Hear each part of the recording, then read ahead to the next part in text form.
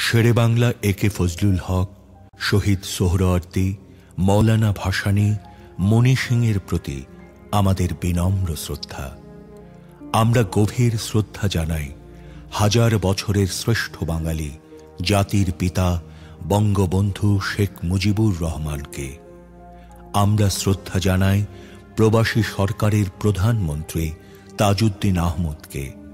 আমরা শ্রদ্ধা জানাই একাত্তর পূর্ব ছাত্র নেতাদের, যারা বান্ন, বাষট্টি, ছেষট্টি উনসত্তরে গণ আন্দোলনের সৃষ্টি করে বাঙালি জাতির স্বাধীনতা ও মুক্তির সংগ্রামে বঙ্গবন্ধুর পাশে ছিলেন। আমাদের বিনম্র শ্রদ্ধা রইল তিরিশ লাখ শহীদ ও পাঁচ লক্ষ নির্যাতিত মা বোনের প্রতি। আমরা শ্রদ্ধা জানাই বীর মুক্তিযোদ্ধাদের যারা স্বাধীন বাংলাদেশ সৃষ্টি করতে শহীদ হয়েছেন।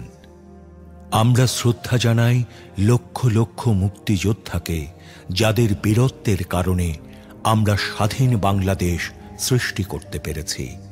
আমাদের গভীর শ্রদ্ধা রইল একাত্তর সালের সেই জনগোষ্ঠীর প্রতি, যারা সীমাহীন কষ্ট ও নির্যাতন ভোগ করে মুক্তিযুদ্ধের প্রতি অনুগত থেকে মুক্তিযোদ্ধাদের সর্বাত্মক সহযোগিতা দিয়ে স্বাধীন বাংলাদেশ সৃষ্টিতে ভূমিকা রেখেছেন।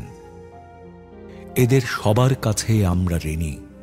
হাজার বছরের শ্রেষ্ঠ বাঙালি, জাতির জনক, বঙ্গবন্ধু শেখ মুজিবুর রহমানের কাঙ্ক্ষিত বাঙালি জাতীয়তাবাদী চেতনার বিকাশ, শোষিতের গণতন্ত্র, শোষণমুক্ত, বৈষম্যহীন সমাজ, মানবিক মূল্যবোধ, সামাজিক ন্যায় বিচার সামাজিক, অর্থনৈতিক, রাজনৈতিক সাম্য প্রতিষ্ঠা করে জনগণকে ক্ষমতার প্রকৃত মালিক করে আমরা এদের ঋণ শোধ করতে পারি।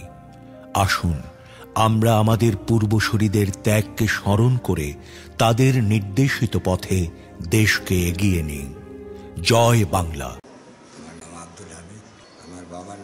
মিতু মোহাম্মদ কালু বেগারি আমার মায়ের নাম খাতুন, আমার বর্তমান ঠিকানা এই আমি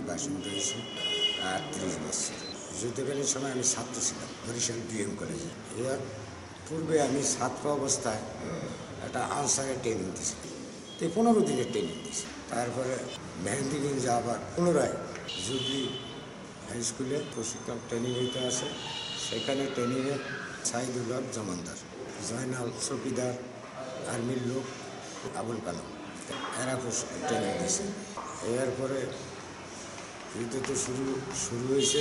সেই এমিনেশন নিয়ে আমরা বর্তমান এমপি পঙ্কজনাথের তার বাবার ওইখানে রাখছি। সেখান থেকে আমরা ছাত্রলীগের রব শিকদার, এরা মিলিয়ে আমরা এই অস্ট্রেলিয়া সানপুর বাড়ির ওইখানে রাখছি। সেখান থেকেও রাখার অসুবিধার জন্য আবার নিচে চড়াক করিয়া, এই বিভিন্ন রকমের ইয়ে করি আমাদের কাছে অস্ত্র খুব কম ছিল। আস্তে আস্তে হইতে হইতে আমরা হিজলা ক্যাপচার করার পরে আমাকে অস্ত্র হয়ে গেছে।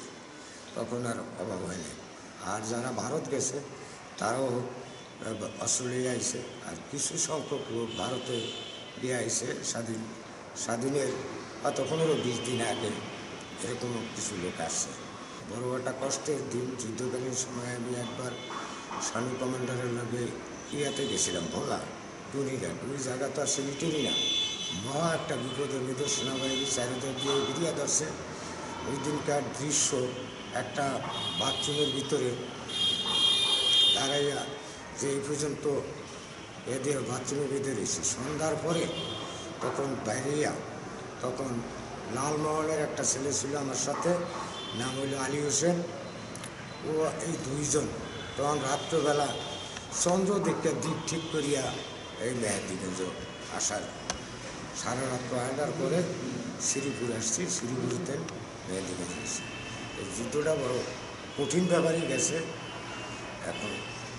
আর স্বাধীনতার পর থেকে মুক্তিযোদ্ধাদের একটা করুণ দৃশ্যই দৃশ্যই সেখানে স্বাধীনতার বিপক্ষের লোকের শক্তি খুব বেশি ছিল। আমার মতে এখনও দেখি এই বিপক্ষের লোকেরা যা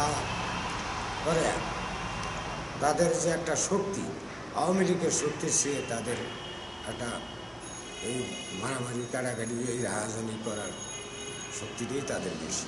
তিরিশ লক্ষ শহীদ ও পাঁচ লক্ষ নির্যাতিত মা বোনের সম্ভ্রমের বিনিময়ে আমরা স্বাধীন। লক্ষ লক্ষ মুক্তিযোদ্ধা বীরত্বের সাথে যুদ্ধ করেছে বলে আমরা স্বাধীন। হাজার হাজার যোদ্ধা বীরত্বের সাথে যুদ্ধ করে শহীদ হয়েছে বলে আমরা স্বাধীন। কোটি কোটি লোক আমাদের সমর্থন করতে গিয়ে অবর্ণনীয় দুঃখ কষ্ট সয়েছে বলেই আমরা স্বাধীন।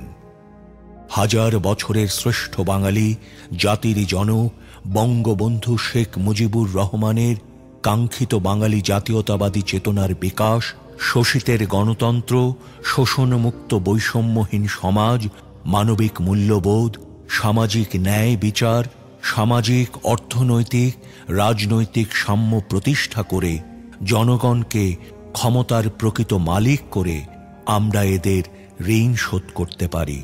আসুন, আমরা আমাদের পূর্বসূরীদের ত্যাগকে স্মরণ করে তাদের নির্দেশিত পথে দেশকে এগিয়ে নেই। জয় বাংলা।